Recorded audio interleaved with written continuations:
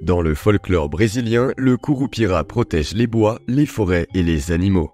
C'est un petit garçon aux cheveux roux et aux pieds tournés vers l'arrière.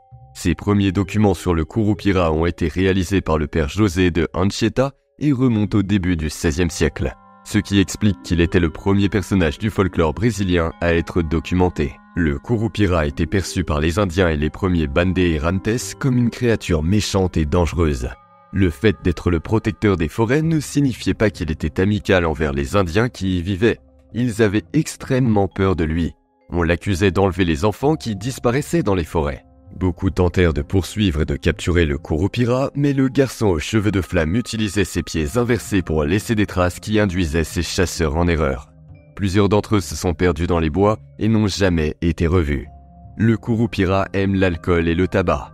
C'est pourquoi beaucoup de ceux qui doivent aller dans la forêt pour gagner leur vie, comme les exploitants de caoutchouc et les chasseurs, laissent des offrandes au Kurupira pour qu'il puisse exercer ses activités sans être dérangé. Le Kurupira n'a pas de patience pour ceux qui exploitent la forêt à outrance et lorsqu'ils s'attaquent à la nature, ils sont pris pour cible par le Kurupira.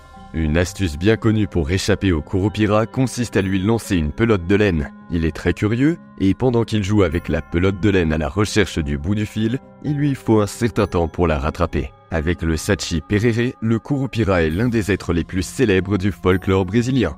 Tout comme le Sachi, le Kurupira a également une journée en son honneur le 17 juin.